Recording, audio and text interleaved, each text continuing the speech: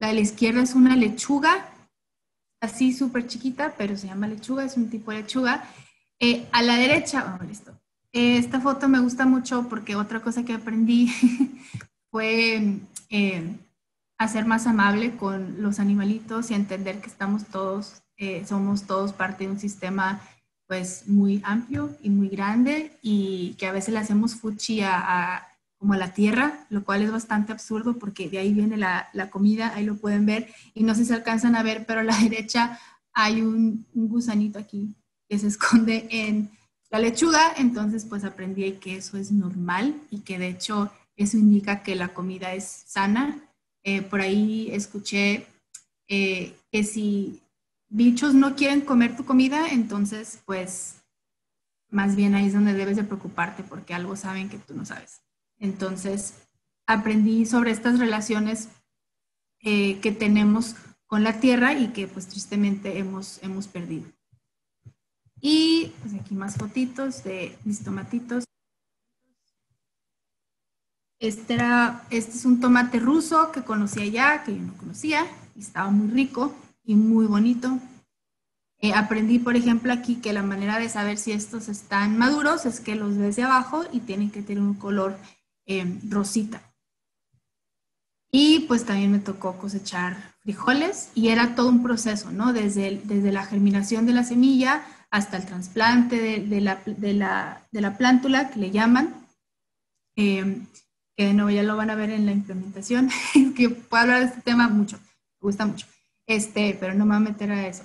Eh, hasta el trasplante, eh, el riego, el, tener que deshiervar, em, hasta la cosecha y luego limpiar la cosecha, preparar la cosecha, porque algunas se, se, por ejemplo, las hierbas se terminan picando y congelando. Eh, en este caso, los frijoles se tienen que sacar de la vaina.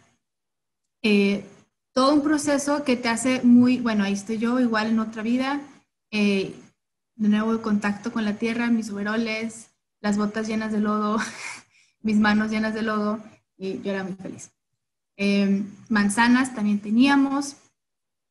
Y bueno, les comentaba, eh, lo que se cultivaba aquí o se vendía en la tiendita ahí de la, de la escuela o nos los comíamos. Entonces yo tenía una experiencia muy bonita de ver mi comida desde la semilla, cuidarla toda su vida y después ser, eh, ver cómo esa comida a mí me estaba alimentando, ¿no? Y probarla y, tener esa satisfacción de estar comiendo algo que yo había cultivado.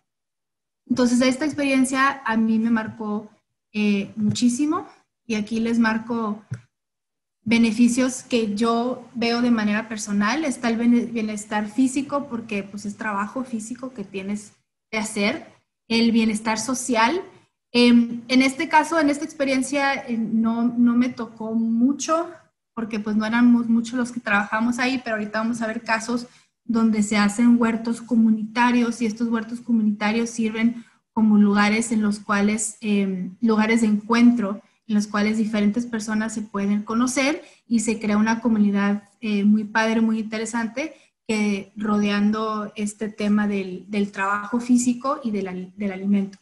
Bienestar en la economía es, es más barato, al final sale más barato cultivar nuestra propia comida, eh, ya sea que tengamos un huerto en casa o que estemos, eh, pues sí, teniendo un huerto en casa es, es, es, mucho más barato. En algunos casos el, el, consumo de estos productos orgánicos o muy locales pueden subir un poco de costo, eh, pero al momento de ustedes hacerlo, pues es mucho más barato.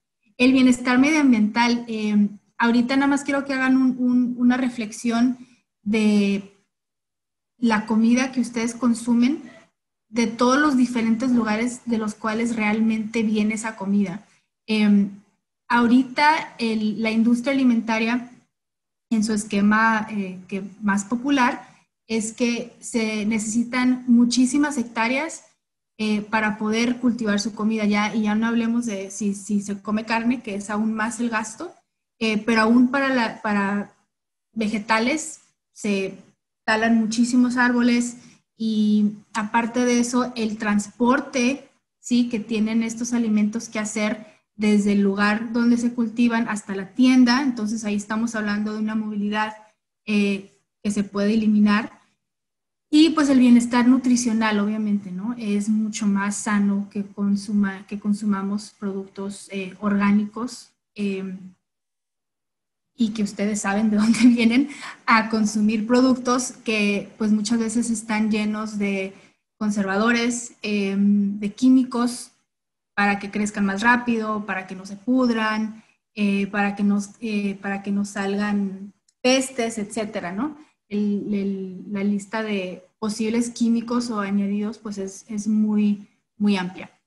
Eh, y a esto yo también agregaría el bienestar espiritual, porque realmente es un trabajo em, eh, y, el, y, el, bienestar de la salud en general, ¿no? Porque es un trabajo, de nuevo, si ustedes lo hacen, em, sumamente eh, relajante. Ya hay muchos estudios que, que, se saben que el trabajar con la tierra baja los niveles de ansiedad. entonces es, es muy bonito por esa parte también. Entonces, bueno, esa fue mi experiencia personal. Eh, y bueno, ahora ya vamos a ver qué es en sí la agricultura urbana y perurbana. Eh, la, la, FAO y la ONU pues la describen simplemente como el cultivo de plantas y la cría de animales y o la cría de animales en el interior y en los alrededores de las ciudades, considerando de nuevo que ahorita el esquema popular es que la agricultura está muy apartada de las ciudades en, en zonas que consideraríamos rurales. y bueno.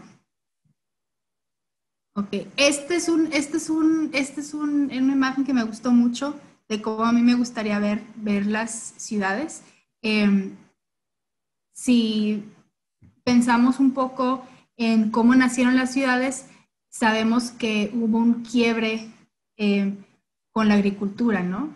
Fácil, eh, fue muy, desde los inicios se hizo este, esta distinción entre lo rural y lo urbano. Y en lo rural, pues es donde se, se producía la materia prima, la comida, y en la ciudad, pues es, es hacia donde se iba toda esta materia prima. Entonces hay una separación entre ciudad y agricultura. Y por lo tanto hay una separación entre nosotros y nuestra comida. Y de nuevo, todo lo, los, todo lo que estábamos hablando de que implica eh, que en el medio ambiente haya esta, esta separación entre la agricultura y las ciudades. Entonces, ¿qué si eh, regresamos, ¿no? La agricultura a las ciudades. ¿Qué si regresamos esto es,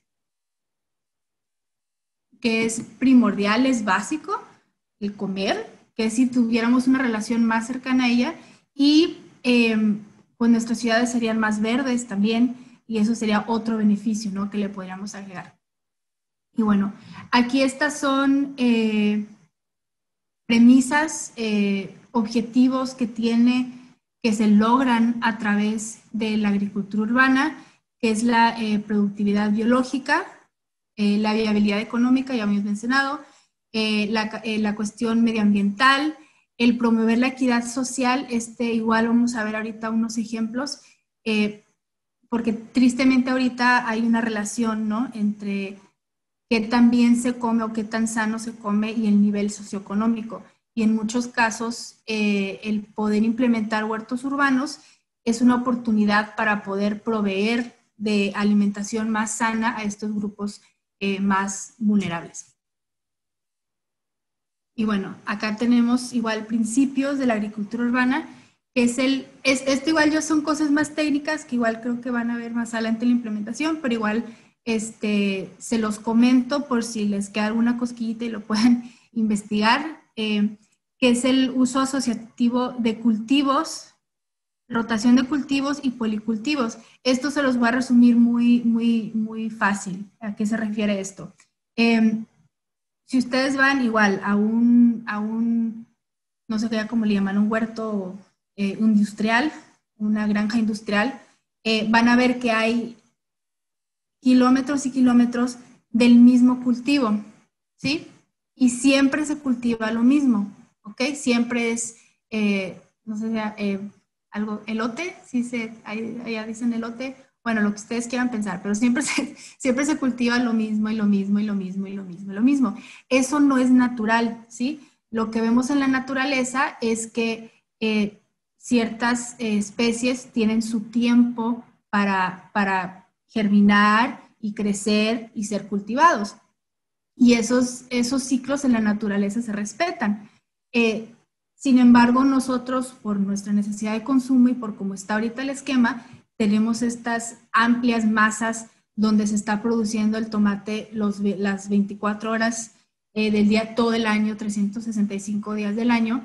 Y pues no es natural. Y el no ser natural, pues tiene implicaciones negativas, tiene implicaciones en la calidad eh, de la tierra, porque la tierra, eh, pues sabemos que tiene minerales, tiene, es nutrición para estas plantas. Entonces, por lo tanto, ahí entra esta cuestión de tener que estar agregando em, químicos para que estas especies, estas plantas, esta vegetación pueda crecer, porque está yendo en contra de la naturaleza. Entonces, em, lo, natural es que haya diferentes tipos de cultivos en un, espacio designado em, y que haya una rotación de cultivos. Es decir, que el tomate crezca al lado del cilantro eh, y que solo crezcan ahí de febrero a junio y de junio a agosto vamos entonces a meter berenjena y zanahoria, no sé,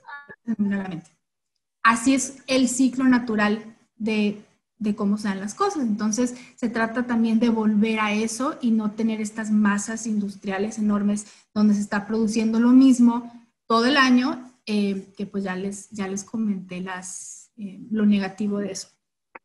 Y eh, lo otro es el, proteger los suelos e incrementar su fertilidad, por lo mismo que, que se daña el, el valor nutricional, se puede decir, del, del substrato de la tierra Em, se quiere promover el, poder, em, de utilizar aditivos químicos, utilizar em, fertilizantes naturales. Y aquí hay unos ejemplos, cubiertas vegetales, compostas, eh, lombricompostas y biofermentos. Cubiertas vegetales se refiere a, literal, echar eh, pasto seco, hojas secas encima de la tierra y eso ayuda a poder incrementar la fertilidad.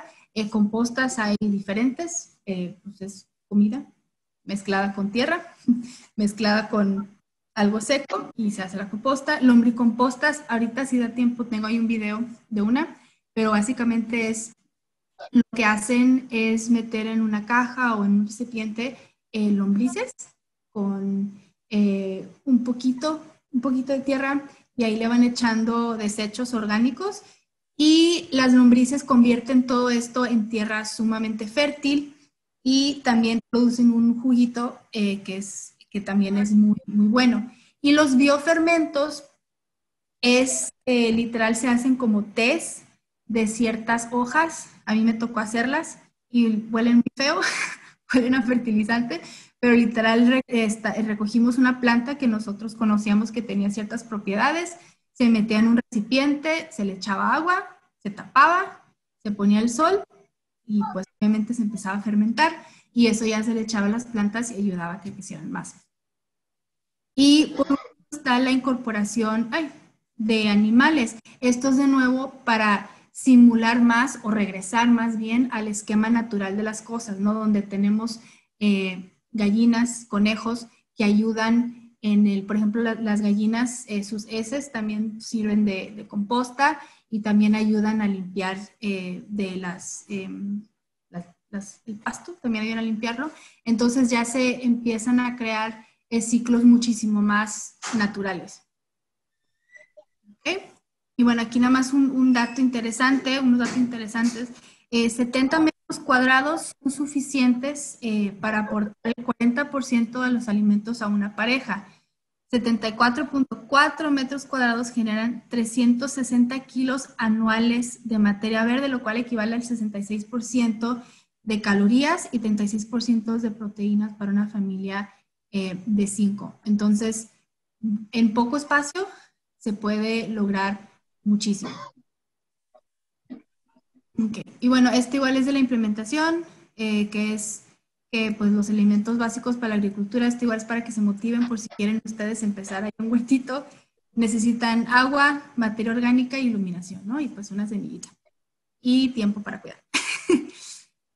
Em, y bueno, los tipos de huertos que vemos en el urbano, eh, dependiendo de la técnica de cultivo, está la huerta en, tierra o también se llama siembra directa, que es eh, las, las, que les enseñé, las, era la única que hacíamos eh, en, en, Austria, que era sembrar directo en, en, la tierra. El huerto en contenedores, que ahorita igual les voy a poner ejemplos, que eso es en macetas, se construyen macetas esa tiene la ventaja en, en, la cuestión urbana de que los cultivos se protegen más de animales y es más cómodo también al momento de trabajar y tienen un elemento eh, de diseño urbano que se puede manejar al diseñar estos contenedores. Eh, y luego está el, huerto hidropónico, que es a base de agua y en el agua se les, se les ponen químicos, no químicos, perdón. Eh, se le ponen eh, fertilizantes naturales para alimentar a la planta y el acuapónico es, similar al hidropónico, pero el acuapónico tiene peces el agua, entonces las heces de los peces sirven para alimentar a las plantas. ¿Okay? Eh, por su ubicación, los huertos urbanos pueden ser en azoteas, verticales, en pared y pues obviamente horizontal, en tierra. Y su uso, eh, este, pues ya pues, usos dentro de una ciudad. Puede ser de uso comercial, eh, doméstico, educativo, municipales y o comunitarios, decorativos y terapéuticos. El decorativo y terapéutico yo diría que caben las demás también. Bueno, aquí algunos ejemplos rapidito em, de proyectos que se han estado haciendo. El primero es eh, la ciudad de Detroit. Si tienen tiempo y si les interesa, hay una plática en TED muy interesante de este caso, pero eh, Detroit es una ciudad eh, de industria, em, población mayormente afroamericana y tristemente, pues em, el gobierno se fue olvidando un poquito de esta ciudad y em, pues número uno no era muy agradable a la vista por esta cuestión industrial eh, movimiento de, eh, urbano y hay un problema que se dieron cuenta que es que la mayoría de la población estaba en un nivel de salud, en un estado de salud muy mal. Entonces, iniciativas de tener huertos dentro de la ciudad. Y pues aquí hay un ejemplo de esto, cómo se ve. Ahí está el link para el, para el chat, pero ahorita no hay tiempo. Eh, de cómo esto se puede ver. Eh, como aquí se ve muy claramente que ya es muy diferente a esta idea que tenemos de que la agricultura está lejos de nosotros, ¿no? En este caso se trajo dentro de la ciudad, lo cual eh, crea una relación otra vez con las personas. Bueno, aquí lo principal que ellos querían era aumentar eh, la calidad eh, alimenticia de los ciudadanos y hasta ahorita lo han logrado. Y otros efectos positivos que han tenido es esta cuestión de la comunidad, porque estos huertos pues los cuidan la, la comunidad, los ciudadanos son quienes los cuidan, entonces es una oportunidad muy padre en la cual pues conoces a tu vecino, conoces a tu prójimo y lo conoces en un esquema en el cual se ven obligados a organizarse. Entonces eso está excelente. Este es un ejemplo de un huerto comercial, es una empresa que decidió poner su huerto y, vende lo que ahí se hace, pero lo que hacen a cambio es que están creando un parque. ¿sí? Entonces cualquier persona puede entrar al huerto y tener este contacto con, con los alimentos. Obviamente no los pueden arrancar así nada más, eh, porque en este caso pues los venden. Em, las estructuras de atrás creo que son las tiendas, pero crean un diseño paisajístico muy interesante, muy padre, que aporta a la comunidad, em, educa también a la comunidad. Aquí hay, tienen, bueno, así está, aquí hay un antes y después de cómo se ve el espacio. Em, aquí es el ejemplo de huertos en contenedores. Aquí también podemos ver el uso de policultivos porque ay, en este mismo tenemos esto y tenemos esto. Sí, que esta, esta flor sirve para, creo, para atraer a las abejas, creo, si mal no me equivoco. Em, si no me equivoco. Em, entonces, sí, tienen, bueno, ahí igual se ven los policultivos, creo que pueden ver claramente cómo pues son diferentes eh, especies de vegetación, diferentes cultivos los que están ahí, aquí igual. Em, y pues tiene esta cuestión también educativa, ¿no? Donde las personas pueden ir y, aprender simplemente al ver, pero aparte crearon este jardín como de niños, donde pueden eh, tener de una manera más intencionada esta interacción con la agricultura. Más fotos. este igual es en Detroit, igual este caso.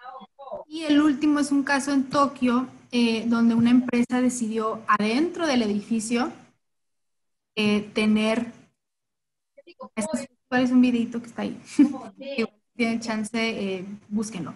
Pero adentro del edificio tienen cultivo y los empleados son los que cuidan de los cultivos, lo cual igual es bueno porque les da algo que hacer.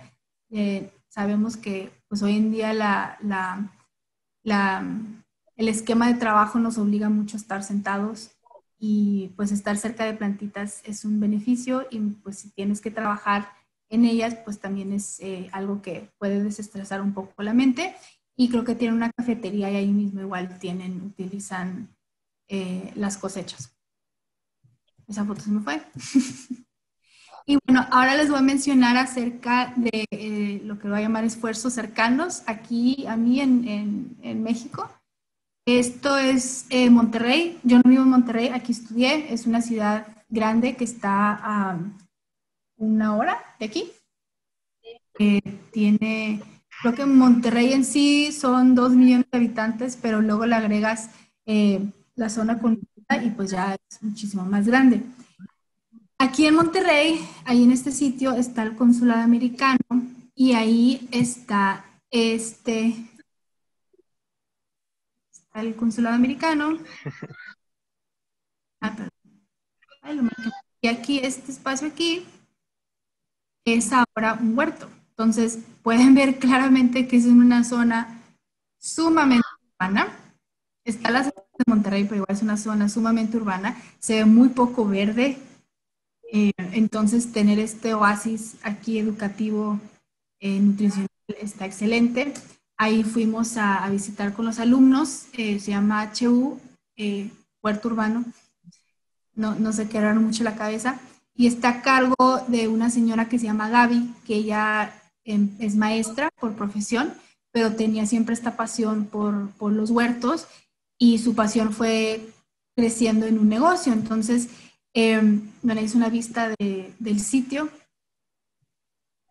y ahí ya está el, huerto, su espacio. La diferencia, este es en contenedores y esto ya es directo en tierra, las técnicas de cultivo. Y ya les comentaba, ¿no? Que ella, ella tomó esto como una, que tenía una pasión y se convirtió en negocio. Ahora, ella está, ella está saliendo beneficiada, gana mucho dinero según mis cálculos y lo que me comentó, eh, pero está ella aportando ¿no? a que las personas cercanas a ella, que conocen su negocio, tengan una mejor alimentación. Eh, incluso de ella, ella em, tiene el servicio de talleres, tiene el servicio de ir e instalar huertos en casas de personas, entonces también tiene este sentido em, educativo, ¿no? De que otras personas hagan lo que ella hizo en su casa, em, en sus propias casas.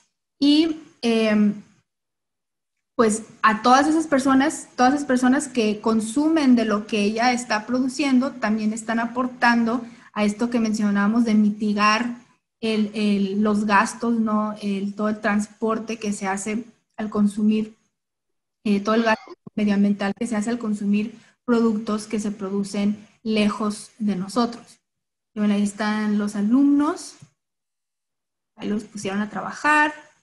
Aquí igual podemos ver esto de los policultivos. Y aquí igual les estaba enseñando. Eh, esto aquí, ay, se me fue el nombre ahorita, pero igual ustedes seguro tienen otro nombre. Pero aquí usualmente se llaman también cajas de germinación. Eh, aquí es donde se germina la plantita se llena de tierra, se prepara con esta aquí. Eh, y aquí se ponen las semillas. Aquí se ponen las semillas y después de un tiempo vamos a tener lo que le llaman una plántula y esta ya se transfiere a ya sea a siembra directa o a los contenedores. bueno, eh, en este caso Gaby tiene, tiene gallinas ahí que le ayudan en, en el cultivo, son parte importante del ecosistema que ahí creó. Bueno, aquí tenemos otra foto de, de, la siembra directa y pues con la vista a las montañas. Igual los alumnos. Y bueno, otro caso en Monterrey es eh, Agrópolis. Igual, esta es la zona en la que está. Aquí se ven más árboles, pero eh, pues es una zona urbana. Ahí está que ella y su esposo tienen este negocio, igual imparten talleres y nosotros tuvimos el privilegio de tenerlos como invitados en nuestra Semana de Arquitectura del año pasado. Eh, y nos impartieron un taller, aquí hay imágenes del taller que tuvimos. Y pues esto para concluir en, en, el esfuerzo cercano, más cercano que, que tengo yo, que es en nuestra universidad. Eh, es la Universidad de Montemorelos, ahorita el campus es esto. Este es el campus. Y todo, todo este terreno de aquí atrás de la universidad y a esto le denominan finca. Entonces, eh, hasta ahorita la universidad intentaba hacer esta relación entre la agricultura y lo urbano, eh, pero eh, a mi parecer y a mi gusto eh, sigue muy separado, ¿no? sigue muy separado porque, pues, acá arriba está la finca los chavos ahí los obligan a trabajar, a los muchachos, alumnos, no sé cómo ustedes les digan, y pues la universidad queda aislada de esto, ¿no? Incluso, pues sí, es una oportunidad que hoy tenemos de esto realmente meterlo acá. Porque ¿qué pasa si en vez de estar regando setos que son decorativos, estamos regando pues eh, plantitas que nos van a alimentar? Y este es como aún más, más cercano. Ahorita no estamos yendo aquí, pero esta es nuestra escuela de arquitectura con artes.